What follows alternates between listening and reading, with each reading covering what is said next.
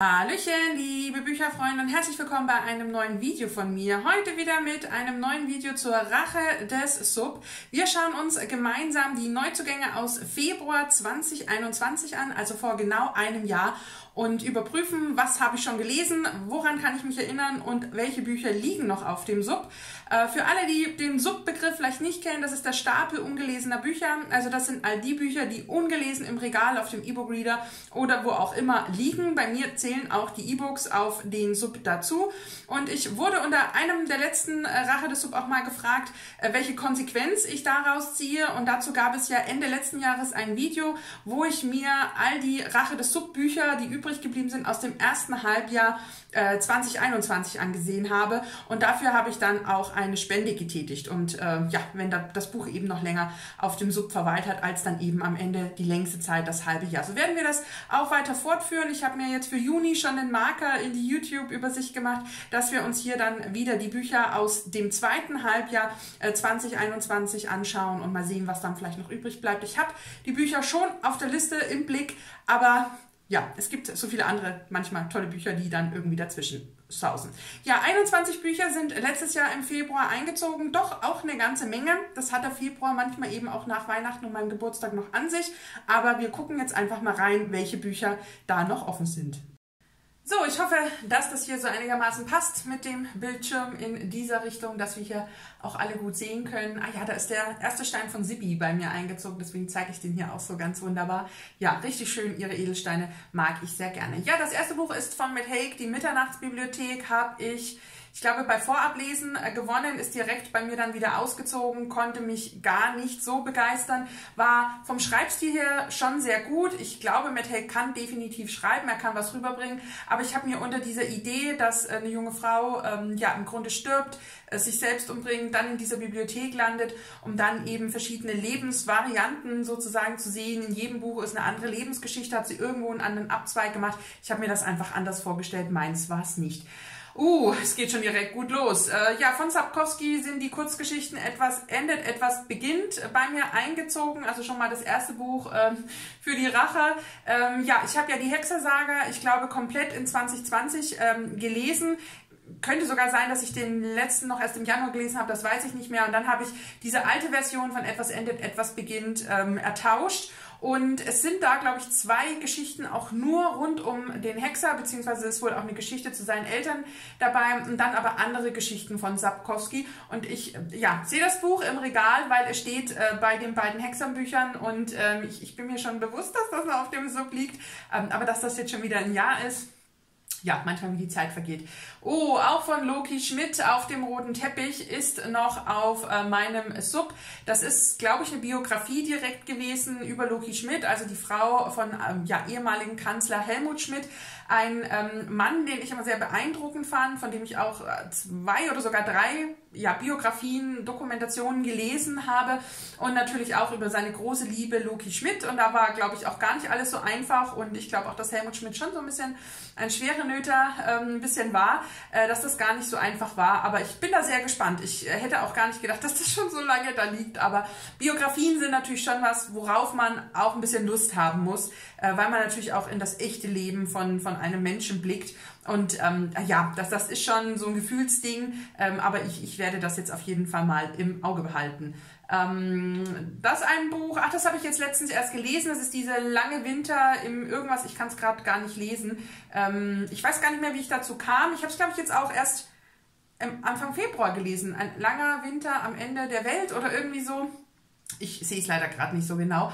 Und ja, das habe ich jetzt erst äh, gelesen, also puh, äh, Glück gehabt, einfach weil es ein Winterbuch war und auf meiner Winterleseliste, sage ich jetzt mal, stand, weil es macht natürlich schon den meisten Sinn, äh, Winterbücher und Bücher, die in eises Kälte spielen, ähm, dann eben durchaus auch äh, in dieser Zeit zu lesen. Leider habe ich es abgebrochen, es war sehr langweilig, es ging nur um Kälte, um Gejammer, es ging nur um Schnee. Und ja, das könnte man natürlich meinen bei einem Mann, der eben in der Arktis oder Antarktis abstürzt, ähm, dass das logisch ist, aber ich fand es sehr langweilig. Ich fand es sehr langgezogen und ich weiß auch gar nicht mehr, äh, wie ich damals drauf kam. Ich habe das irgendwo gesehen oder habe ich die Autorin irgendwo erkannt, also vom, dass da jemand geschwärmt hat. Ich äh, bin mir nicht mehr sicher.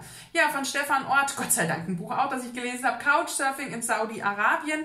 Äh, von Stefan Ort gibt es einige Bücher in diese Richtung und hier ist er relativ kurz, äh, bevor das mit dem großen C anfing, ähm, auch ähm, ja, nach Saudi-Arabien gereist. So lange darf man das noch gar nicht so richtig als reiner Tourist und schon gar nicht als ähm, ja, Backpacker. Und äh, da erzählt er dann eben so seine Erfahrungen, wie er aufgenommen wurde, wie das so ein bisschen auch mit dem reinen Couchsurfing funktioniert hat. Also ob man Leute findet, die einen bei sich übernachten lassen, wie auch die Menschen so ticken, wie offen sie sind, was er sonst für Erfahrungen in Saudi-Arabien gemacht hat. Jetzt ist es natürlich in diesem Land durchaus einfacher, als Mann unterwegs zu sein, als als Frau. Das war ja lange Zeit zum Beispiel als unverheiratete Frau auch gar nicht möglich, allein einzureisen. Und ähm, ja, war auf jeden Fall sehr spannend. Jahre ohne uns von Barney Norris, ja, habe ich auch jetzt im Februar tatsächlich erst gelesen. War das gar nicht bewusst. Ich habe gedacht, das ist erst so im April, Mai eingezogen. Ähm, aber okay, äh, war ein Rezensionsexemplar, was mich sehr angesprochen hat, weil wir hier eigentlich, so dachte ich, ähm, zwei Personen haben, die uns ihre Geschichte erzählen, wie die Zeit eben ohne einander war. Hat mir nicht gefallen, habe ich ebenfalls abgebrochen, fand ich schade. Von Teasy Boyle ist Sprich mit mir eingezogen, das habe ich auch letztes Jahr gehört. Ich fand das ganz spannend. Äh, wir hatten hier ein Experiment, ich glaube, das war auch ein bisschen zurückgelegt, 1960, also ein fiktives Experiment, wo mit Affen ähm, experimentiert wurde und hier eben eine junge Frau, eine Forscherin mit dem Affen Kontakt aufnehmen kann, also mit ihm auch sprechen kann. Ähm, sowas gab es ja mehr oder weniger auch schon mit einer Gorilladame, die dann eben die Gebärdensprache gesprochen gesprochen hat. Und hier wird eben klar, dass sich die junge Frau, ähm, dass da Gefühle entstehen zwischen dem Affen und ihr. Und äh, das wird so von Teasy Boy ein bisschen beleuchtet. Also ich fand es gut. Aber mir ist auch vor dem Buch schon klar gewesen, dass Tiere Gefühle und Gedanken haben und ähm, dieses ständige Draufhauen habe ich nicht verstanden. Also draufhauen im Sinne von, ja. Ja, Jeffrey Archer, Söhne des Glücks, äh, gesprochen von Richard Bachenberg, wurde auch gehört. Ich mag äh, die Geschichten von Jeffrey Archer sehr gerne, ähm, auch wenn bisher nichts an die Clifton-Sage herankam. Ich äh, mag auch Richard Bachenberg als Sprecher sehr, sehr, sehr gerne. Ich höre ihm unglaublich gerne zu. Und ähm, das habe ich definitiv auch schon gehört. Ich glaube, da ging es auch um zwei, waren das Brüder? Waren das verschiedene Richtungen, die die eingeschlagen haben? Irgendwie in so eine Richtung ist das gegangen manchmal überlappen die Geschichten von Jeffrey Archer auch in meinem Kopf, ähm, weil doch sehr vieles, gerade das Politische und so, manchmal sehr ähnlich ist und auch viel Raum einnimmt in, in seinen ähm, Büchern. Aber ja, ich habe es auf jeden Fall gehört. Jeffrey Archer verweilt als Hörbuch mit Richard Bachenberg in der Regel nicht so lange. Und jetzt quatscht die Steffi hier so stundenlang. Poppy J. Anderson ist Geheimzutat Liebe bei mir eingezogen. Das ist, glaube ich, der Auftakt einer Reihe. Habe ich im letzten Jahr, ich glaube, irgendwann im Sommer gelesen. Ähm, ich weiß gar nicht, ob ich es beendet habe. Ich habe das nur in so einer Okay-Erinnerung. Ähm, das sind wir, glaube ich, bei irgendeinem ganz bekannten Koch. Und dann haben wir noch eine Perspektive von einer jungen Frau. Und irgendwie verlieben die sich dann ineinander, wie das ja immer mal so ist. Und ich, ich war, glaube ich, auch mein erstes Buch von Poppy J. Anderson, ähm, die ja wirklich sehr regelmäßig und auch bekannte Bücher äh, herausbringt und auch sehr erfolgreich ist. Ich kriege aber nicht mehr zusammen, äh, wie ich es tatsächlich fand, ob ich es beendet hatte oder nicht. Oh, willkommen in Night Valley, das äh, dritte äh, Subbuch äh, sozusagen auf, ähm, ja, in diesem Monat. Oh mein Gott, und wir sind, glaube ich, erst bei der Hälfte.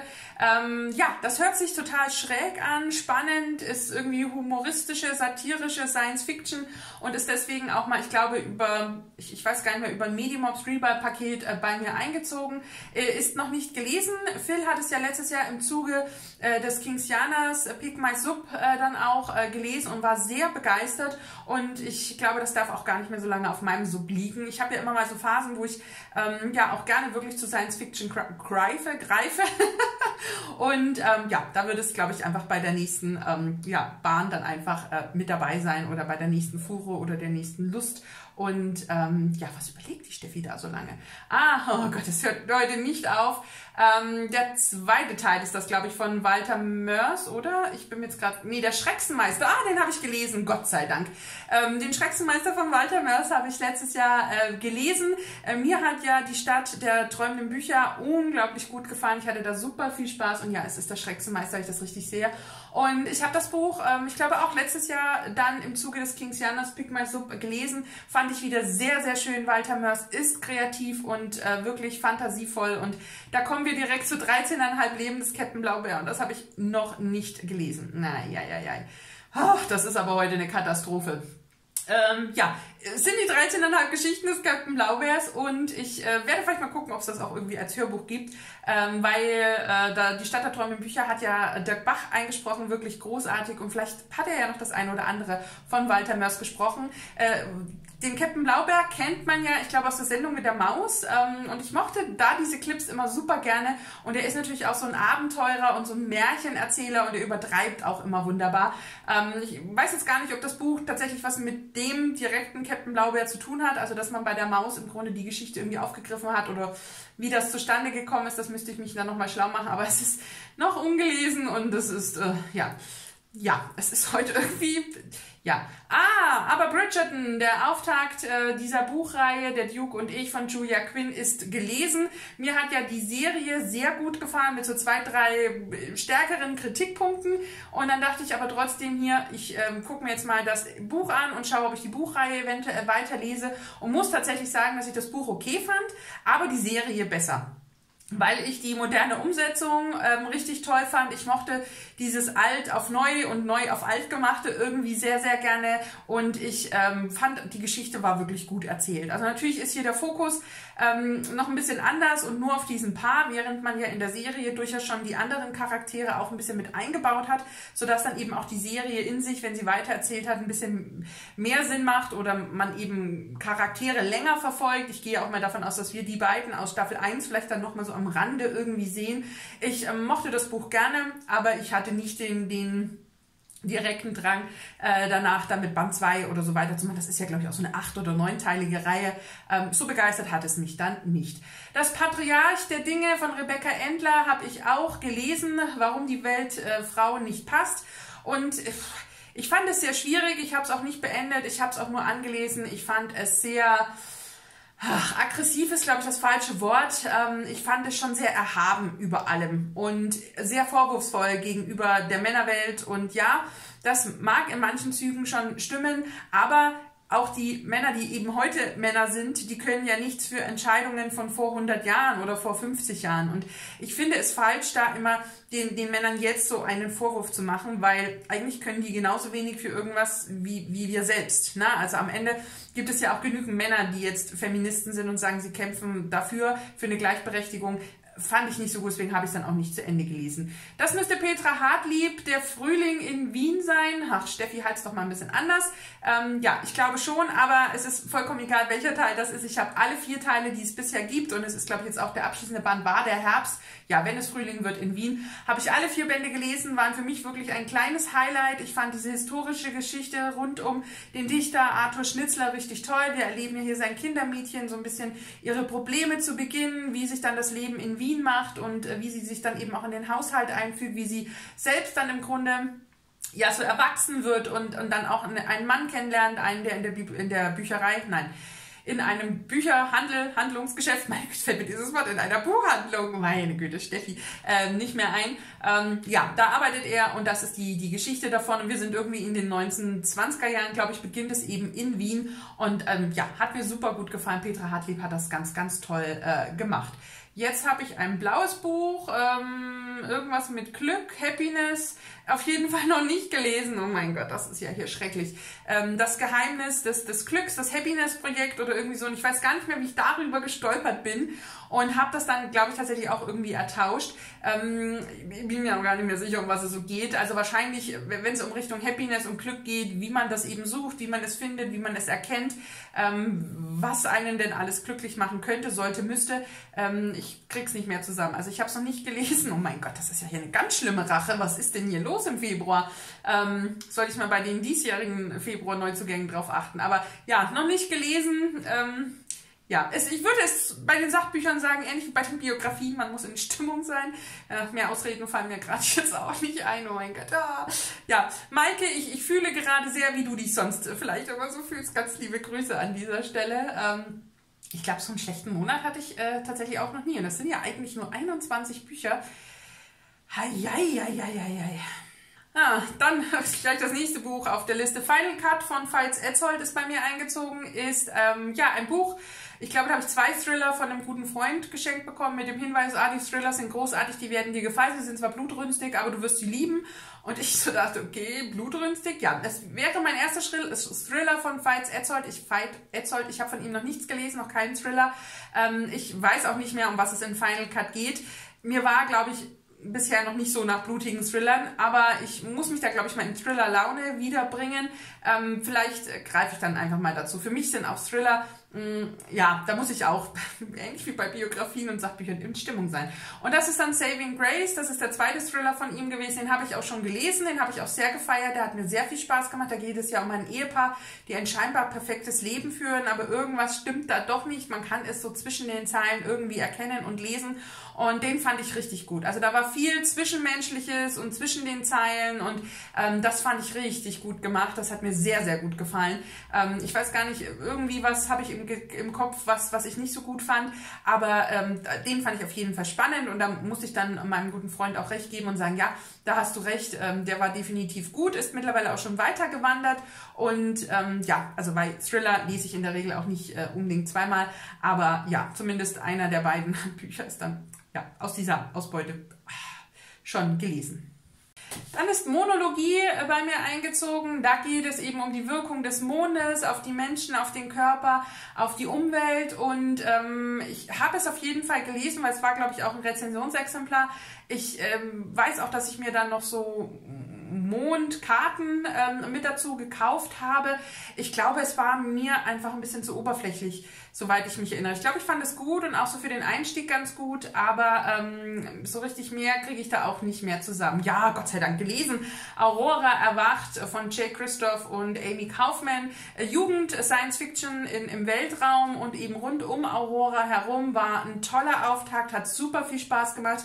Der zweite Band liegt auch schon hier, wird auch von uns gehört bzw. gelesen, haben wir uns jetzt für den März vorgenommen und das hat einfach super viel Spaß gemacht. Also ich mag den Humor von Jay Christoph, auch wie er hier mit Amy Kaufman äh, so funktioniert. Man weiß natürlich nicht, wie haben die sich das aufgeteilt. Hat jeder eine andere Perspektive geschrieben, wie wir diese Crew kennenlernen. Und da kommt Frau Sunny. Äh, Gerade ist hier Samwise rumgehuscht, jetzt kommt die Frau Sunny. Äh, ja, ich mag die Bücher von Jay Christoph und ich fand auch hier die Kombination mit Amy Kaufman richtig toll.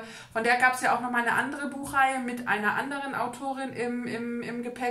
Und da habe ich ja, glaube ich, Band 1 und 2 auch gelesen und ich fand die auch sehr gut. Ich weiß gar nicht mehr, warum ich damals den dritten Band nicht gelesen habe ja, kann man manchmal nicht sagen. Es sind auch einfach zu viele Bücher, die irgendwo im Kopf umherspuken. Ähm, ja, das, das ist, da kann ich, das kann ich mir nicht jedes einzelne merken. Aber der Auftakt hier war auf jeden Fall sehr, sehr gelungen. Das Gold der Maori bei mir eingezogen. Ähm, ich habe das, glaube ich, auch ertauscht ähm, dann letztes Jahr. Und das habe ich angefangen und dann pausiert. Ja, also das war nicht so ganz meins. Ich weiß nicht, ob es an der Zeit lag. Ich hatte es irgendwie im Sommer angefangen, hat es dann auch mal so ein bisschen liegen, habe dann nochmal reingelesen. Ich bin da nicht reingekommen. Äh, mittlerweile, es liegt auf jeden Fall nicht mehr im Regal. Ähm, ich sage jetzt mal, ist, ist dann wahrscheinlich auch jetzt erstmal auf den Dachboden gewandert. Ähm, war irgendwie nicht so meins, obwohl ich das rund um die Maori schon super spannend äh, gefunden hätte. Aber ja, war nicht so ganz meins. So, und das waren sie jetzt, die 21 Neuzugänge. Ich zähle sechs ungelesene Bücher. Mm, angefangen mit den Kurzgeschichten von Sapkowski, äh, das Buch von Loki Schmidt, äh, Night Valley, äh, 13,5 Leben des Captain Blaubeer, Happiness, Glücksprojekt und dann der Thriller Final Cut. Ähm, ja, ich glaube, so einen schlechten Monat müsste ich mal in meiner Geschichte nachgucken, hatte ich noch nie. 6 ah, von 21 ist mir persönlich schon zu viel. Also, wie konnte das nur passieren? Ähm, ja, es nützt hier auch gar nichts rausreden. Äh, ja, landen jetzt auf der Liste, dass sie demnächst äh, gelesen werden und hoffe, dass das irgendwie äh, klappt. Hoffen wir mal, dass der März irgendwie besser aussieht. Und nein, ich äh, gucke in der Regel also nicht äh, nach, was jetzt im März dran käme, sondern ich lasse mich durch die Videos genauso überraschen. Manchmal habe ich ein Zeitgefühl, wann ein Buch bei mir eingezogen ist oder, ne, aber äh, wie auch gesagt, bei den einen beiden Büchern hätte ich gar nicht gedacht, dass die jetzt schon im, im Februar seitdem da sind, sondern da hatte ich die viel später in Erinnerung. Aber ähm, ich hatte letztes Jahr eh ein bisschen ein schwieriges ähm, ja, Buchjahr, also was die Erinnerungen und sowas angeht überhaupt. Und ähm, ja, gut, äh, sechs Bücher von 21, das ist schon heftig, aber nichts, was man nicht irgendwie bewältigen oder hinbekommen könnte. Vielleicht kennt ihr ja auch schon eins der sechs Bücher, dann schwärmt bitte in den Kommentaren, macht es mir schmackhaft und ähm, dann kriegen wir das oder kriege ich das auf jeden Fall auch hin. Und ich hoffe, das Video hat euch jetzt gefallen. Ich danke euch fürs Zusehen, wünsche euch noch einen schönen Tag, einen schönen Abend und dann bis zum nächsten Video. Macht's gut. Tschüss, eure Steffi.